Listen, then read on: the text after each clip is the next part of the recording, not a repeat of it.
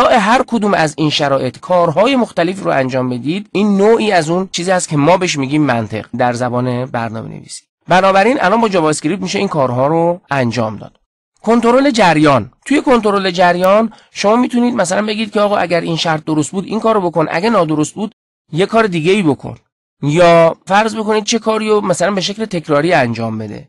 الان کجا باید بری؟ الان باید وایسی الان باید صبر کنی الان باید ادامه بدی برنامه رو. و اینجور کنترل ها روی برنامه رو می‌تونید داشته باشید. کار دیگه که میشه با JavaScript انجام داد واکنش به کنش های کاربر هست. کنش های کاربر یعنی چی؟ کاربر شما صفحه مرورگر رو باز می‌کنه میاد توی صفحه وب شما موسش رو تکون میده. میره یه جا کلیک می‌کنه. یه چند تا دکمه کیبورد رو فشار میده. یعنی یک سری کنش داره با این صفحه شما. شما می توانید بر اساس کنش های کاربر واکنش مناسبی رو به او نشون بدید. مثلا اگر موس تکون داد یه پیامی بهش بدید. اگر فلان جا کلیک کرد یه کاری بکنید. اگر یه چیزی رو وارد کرد پردازش بکنید. ببینید این چی الان وارد کرده. و پیغام مناسب بهش بدید. کاربرد دیگه که خیلی کاربرد در حقیقت گسترده ای هم هست و خیلی ازش دارن استفاده می‌کنن بحث اعتبار سنجی هست. حتما شده که برید داخل یک سایتی دارید ثبت نام می‌کنید می‌خواید شماره موبایل بزنید.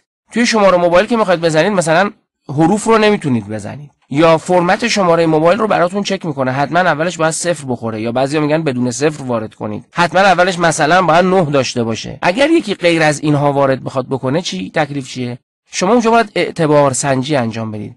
خیلی از سایت ها حتما دیدید که این پیغام های خطا رو به شما میدن. همون لحظه بدون اینکه صفحه رفرش بشه داره یه پیغام قرمز رنگی یه جای میده یه آلارمی به شما نشون میده یه یه کاری داره می‌کنه.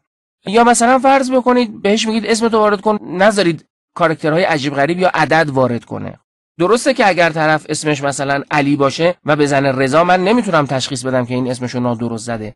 ولی حداقل می‌دونم که علی یا اون اسم طرف حاوی کاراکترهایی مثل یک و دو و سه نمی‌دونم کاراکترهای عجیب غریب صفحه کیبورد ما نیست. و یکی دیگه از امکاناتی که من می‌خوام برای شما معرفی کنم توی JavaScript بحث زمان بندی هست timing. یعنی اینکه یک سری کارها رو در یک سری زمانهای مشخص مرورگر شما انجام بده. یا جلوی انجام یک سری کارهای زمان بندی شده رو بگیره. یا یک کاری رو ست کنید که مثلا در یک لحظه خاصی یک بار اجرا بشه و بره پی کارش.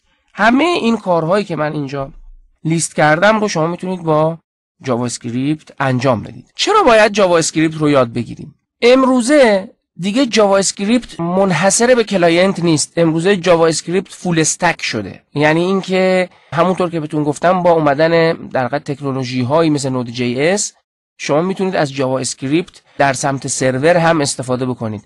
بنابراین خیلی عالیه. با یادگیری یک زبان شما full stack میشید. هم client رو یاد می‌گیرید برنامه نویسی کنید هم سرور رو. این چیز بسیار ارزشمندیه. اونهایی که تجربه کاری دارن قدر این مسئله رو حتما می‌دونن و جزء یکی از پرکاربردترین زبانهای حال حاضر دنیاست JavaScript. نکته بعدی که ما رو ملزم می‌کنه به یادگیری JavaScript توجه به ضرورت کاربردهای JS من در اسلاید قبلی یک سری کاربردهای JS رو برای شما لیست کردم و گفتم. آیا شما صفحه وبی رو سراغ دارید که یکی از اون کاربردها رو لازم نداشته باشه؟ یعنی اعتبار سنجی نخواد یعنی زمان بندی نخواد؟ شما وقتی میرید توی صفحه وبی slide show می‌بینید اون slide show پشتش در حقیقت یک زمان بندی وجود داره.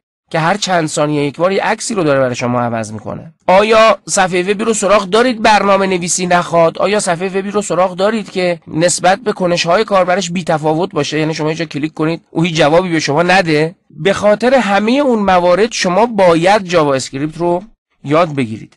و اینکه الان من کمتر جایی رو سراغ دارم یعنی تقریبا شو جایی سراغ ندارم که JS رو لازم نداشته باشه. حتما هر جا برید یا خود JS رو دارن استفاده می‌کنن یا یکی از library هاش مثل jQuery یا یکی از فریم هاش همه جا دارن از این موارد استفاده می‌کنن. خیلی فرصت های شغلی موقعیت های شغلی شرکت های معتبر وجود دارن که به دنبال استخدام نیروی JS کار هستن به اصطلاح. و بنابراین این فرصت خیلی خوبی هست برای شمایی که به دنبال تقویت مهارت های فردیتون هستید و می‌خواید برید از این فرصت ها استفاده کنید. به خاطر این فرصت ها شما باید JavaScript رو یاد بگیرید.